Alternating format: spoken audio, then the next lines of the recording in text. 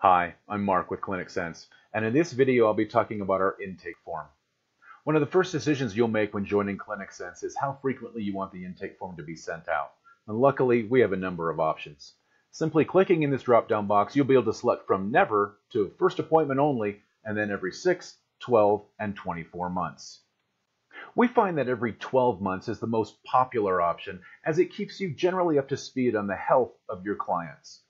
If you'd like to customize the intake form, simply click on the Intake Form tab here. Here you'll be able to see the general sections and questions for the intake form. Some of the questions are locked and required, and that's designated with this small lock, but most of which you can customize by turning them on or off. You can also add your own questions by clicking on the Add Question link here, and then have you played sports? And you can select choose one from multiple choice and enter the yes or a no.